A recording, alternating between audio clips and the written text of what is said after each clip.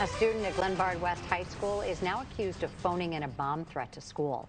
The 17-year-old is facing two felony counts of disorderly conduct.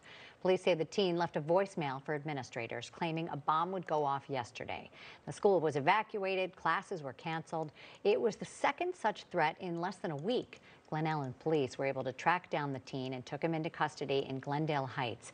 The 17-year-old is being charged as a juvenile and is being held in detention until his next hearing on May 12th. The first threat made on April 27th remains under investigation.